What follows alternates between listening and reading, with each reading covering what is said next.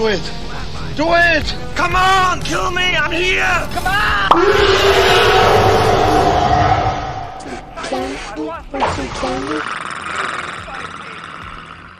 Welcome, ladies and gentlemen, to Inside Your Screen Gaming, and welcome to Off the Cuff. This is Predator Hunting Grounds, a demo beta that dropped at the weekend just gone, the 27th to the 29th of March, which pits you in either the shoes of the Predator uh, or of a fire team, uh, a soldier elite force unit called the Voodoo Squad, that are going out to complete objectives and basically escape from the Predator.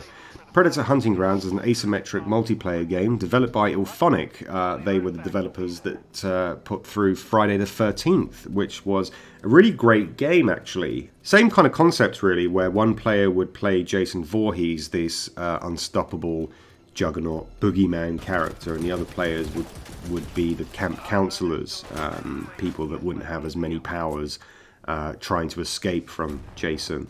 There's been a lot of uh, divisive reactions to the trailer that came out at the weekend. Some people have loved it, some people have loathed it, some people are in between.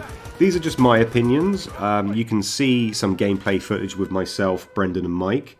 And we'll also be doing a podcast uh, talking about Predator Hunting Ground, so you can check that out when it's released. And we'll be showing this on the website as well, as well as uh, YouTube and our Twitter feed. Um, but anyway, let's just jump right into it. Let's get into the, the good, the bad, and the ugly. So right off the bat, IllFonic have been able to encapsulate the uh, essence of Predator. And that's one of my main vocal pros of this. The sound effects, they're just great. They're fantastic. Um, every time the Predator switches to his thermal mode, every time you hear him clicking in the trees, his stomping of his feet, the sound design is amazing. It's immaculate.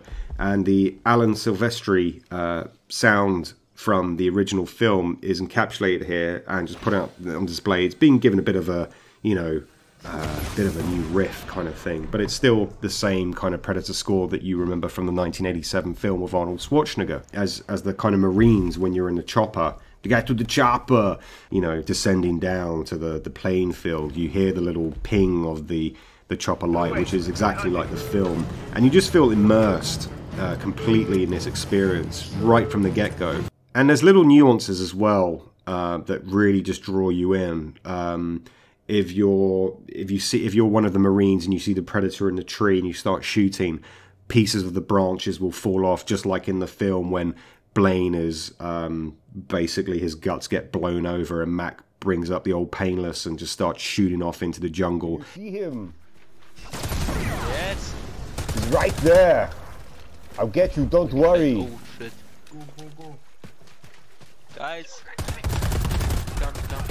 He's starting strong. He's in the tree.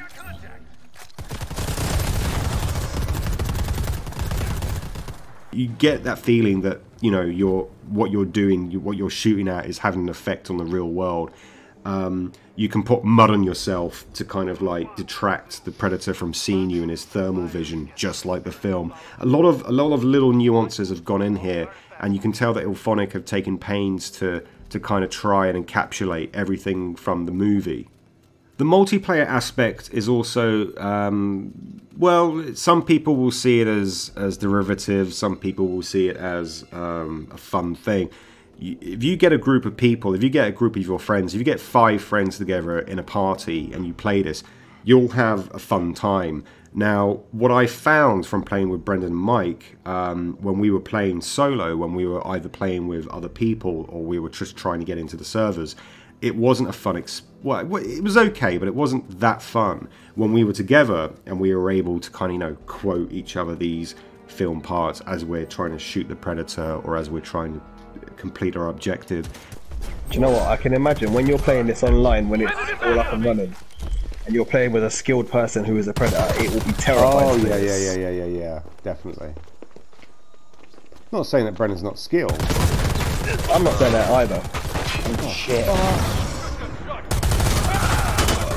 It's going to be like playing Search and Destroy on Call of Duty, where you feel that pressure.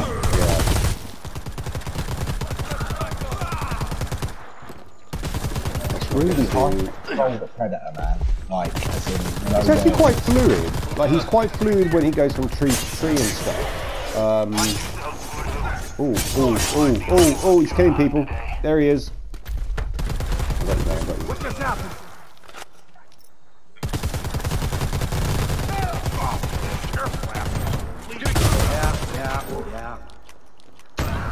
Trying to be sneaky, bro. man. Trying to be sneaky. You can customize your soldier. Um, you can give him an eye patch. You can give him ski mask goggles. You can that? give him war paint. You can put skins on your rifle or your rocket launcher or whatever you want to do. There's quite a few options available here, and I'm hoping that once the the beta uh, becomes the full release, that there'll be more options here. And likewise with the Predator, um, you can change his mask. Uh, you can change his, you know, predlocks. Uh, there wasn't an option to change the loincloth or the fishnets, unfortunately. I'm hoping this is something that will be uh, addressed and um, put out there in future. That's just my own fetish, but there you go. So now the bad stuff, and unfortunately there are quite a few bad things in Predator Hunting Grounds. Um, from a technical standpoint, the actual the graphics do seem a little dated. It does seem like we're playing this on a really early PlayStation 4 type of game, or even if I was being critical, a very late PlayStation 3 sort of engine. It's not to say that the environment is lush. It's just that there's certain textures that pop in, um, and it just the, the the whole feel. It just feels like a very late late PlayStation 3, early PlayStation 4 format. Um, now servers uh, were an issue this weekend, not for me personally, um, but Brendan did have some issues logging on. Now the footage you're seeing right now is him as the Predator. Now this uh, I understand is a glitch. Uh, he actually joined the game uh, with four other, you know, soldiers. However, he was just on his own. He was against AI computer opponents, and that's that's not great. That's that's not a good glitch to have. Um, for the whole 15 minutes, he was just jumping around the trees, trying to find out where these where these human human characters were. But it, all all he was against was AI.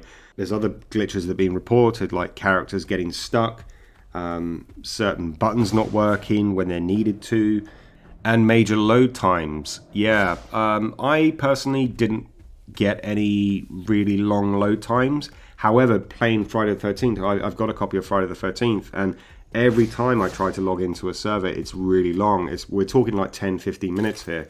And it's not, I know uh, IllFonic are not a AAA studio, but even so, it shouldn't really have to take you. We're in 2020 now. It shouldn't have to take you 10 to 15 minutes to get inside a game, uh, especially for this ADHD crowd that we're dealing with.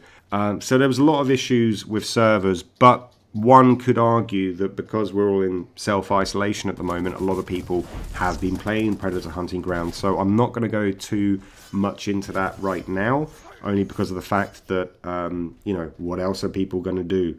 They're going to be watching TV, they're going to be playing games, and uh, I imagine the servers were overwhelmed. Also, another kind of concept that's come up is that the fact that the Predator isn't as strong as you'd like to think. Um, if you have a good group of first person shooters that are playing as your Voodoo Fire Team elite soldiers, they can quite easily take down the Predator. Now, I don't know if this is just because of the fact that the one skill set level that we have of the Predator, the Hunter, or sorry, the class of the Hunter, um, is you know the only thing available at the moment. But I downed the Predator quite a few times, and his kind of style of play, or in the films anyway, the style of play of the Predator was meant to be a kind of hunter stalker. He would pick people off one by one. And there are options that are, you know, available to you as the Predator for this. You can level up, you can, but it's a bit of a grind. The soldiers' objectives don't seem particularly great. I'm going to be honest. Um, you're going in into a kind of guerrilla camp, and you're given like each mission will give you like a different set of objectives. You can either collect water samples, you can kill a particular warlord or VIP type person. Um, you can go in and you know steal some documents or just blow some shit up. But mm, the AI is really bad. The, the AI is no, it's dumb. The AI is really dumb. So, as the soldiers, um, obviously you won't just be able going into a map just fighting the predator itself. These AI uh, guerrillas are there to kind of uh, create a distraction for you, and that's all they are really is a distraction. They're just a nuisance. Uh, they don't particularly, they don't do any particular damage to you. Um, there are two varieties of them, as far as I can see. You've got like a kind of heavy soldier set that just takes a bit more damage, or it takes a bit more to take down. Um, or there's the normal grunts that you can take down easily. They're just there. They're just thrown in essentially to create a distraction, so the predator can run around the trees and pick his his prey, so to speak. Um, the AI definitely needs to be improved. Um, what I would like personally is to have the soldiers actually going into a camp and actually being threatened by these AI NPCs, essentially. Um, why should it be so easy just to come in and do your objective? I've seen, I've been playing some of the games that I've come in, I've completed within five minutes. We get in, we do the stuff, we clear out all the guerrillas, we get to the chopper, and we get out, even before the predator's really known where we are. There's been other games where we get in there and the predator's been great. It all depends on who's playing the actual, uh, you know, predator, who's playing your teammates. But essentially, if you have a good group of people and you're running around and you're just doing all the things you need to do, you can collect all the shinies, all the jewelry, you can collect all the objective pieces, and then you can get out willy nilly. That's fine.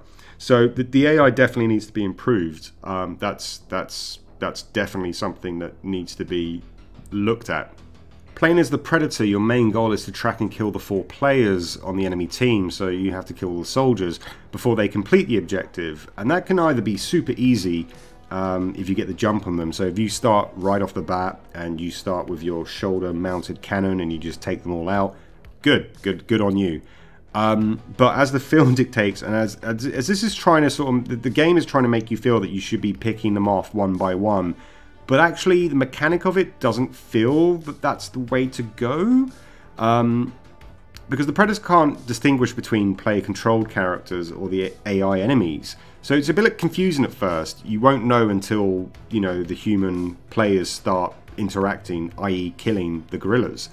Uh, you don't get many useful tools to start off with until you level up significantly. So like you're, you know, you can get uh, the splicey disc thing, you can get the grab net thing, and wrist blades for close-up fights. But even the close-up fights feel a bit janky at the moment. Um, and the Predator's not indestructible. Unlike Jason Voorhees in the Friday the 13th uh, game, the Predator can be killed quite easily. If you have a lone soldier, then yeah, the Predator's going to wipe this person out. But if two or three or more of the soldiers gang up and just start wailing on them, then the predator's going down and it's that's the end of the mission essentially. So i'd like to think that the predator needs to be beefed up a little bit more. And there's some videos that i've actually seen where someone's played as the predator and seems more scared playing as the predator than the actual human marines which i just find a little bit unnerving just throwing an idea out there, um, I think it would have been a lot better if the, the generic soldiers that you kind of take on board, if they were actually specific characters. I think IllFonic missed the trick here by not using the soldiers as characters. Um, you have such an eclectic mix here. Blaine, who had like you know the the kind of weird kind of I don't know what the technical name for the hat is, but the weird cowboy hat that had one half going up with old painless. You had Mac, who had the razor blade. You're ghosting this motherfucker. You had uh, Dillon, um, you know, the CIA agent. You had Poncho, Hawkins, Dutch. Uh, you had all these characters, and I think what would work really well is that if there was just a sort of finite amount of soldiers, but they all had their own personalities and they all interacted with each other. In a cutscene, you'd see, like you do with Blaine and Dillon in the chopper before they kind of like land in the original Predator film. A prime example of this would be Valve's Left 4 Dead and Left 4 Dead 2, where the player ultimately empathises with the playable characters on screen, because they interact with each other within set pieces in between the action scenes. It may seem like a small thing, but it could separate Predator Hunting Grounds from any other generic FPS. Goddamn stairs. Come on, coach. Maybe the helicopter. Maybe it's made of chocolate. We've got to run! We've got to go! Come on! Run away! Kablamzo! Ah, the Predator self-destructed and it's all good. We survived. I couldn't recommend buying this. If this is going to be sold at like forty pounds or fifty pounds, um, I really, at the moment, at this point in time, I couldn't recommend it. Um, it's broken in a lot of ways. Uh, and it's kind of feeding on the nostalgia for people. And I think a lot of people will buy this just based on pure nostalgia. But it's longevity. Uh, it's a longevity game. Uh, I could I could play this without my friends, with just a group of randoms. Um, for maybe a couple of weekends, I'd level up my character a little bit. But I don't think there's enough substance here to kind of make me want to play anymore. Sure, there'll probably be other maps, and sure, there'll be probably other other customizationable things. But really, I think uh, this is meant to be released next month. What I would what I would probably ask for is that this is delayed. Um, take this away. This is a franchise that I love the Predator franchise. I love well, I love the original Predator franchise. I don't so much now what's going on. Um, and I think really that the developers need to kind of take a step back. Don't release this next month. Don't rush job this out. Don't rush this out. Leave this until October. That's when Halloween is. You know what's going to happen? In a couple of months' time, the world's kind of going to go back to normal, right? And then people come out, and then when October hits, it'll be like, yes, we want to party. We want to party hard. And how are you going to do that? You're going to play Predator. You're going to get your friends. You're going to get online, and you'll be like, let's play Predator do that. Fix fix the things that aren't right with this so far, and then then show us. Uh, and that's my, my final thoughts on this. And also, you can catch us on the podcast talking more about it shortly. So stay tuned to Inside Your Screen. Uh, if you like what you've seen, subscribe, follow, and share with your friends. And I hope to see you on the next Inside Your Screen Gaming. Bye.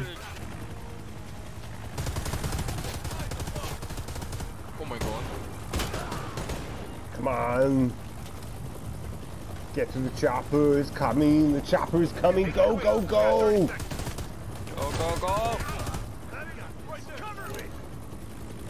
Go, guys, go.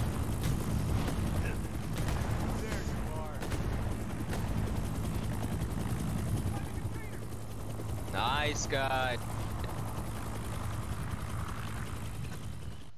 Bretta's low. Oh. GG. Fuck you, Predator. You don't know.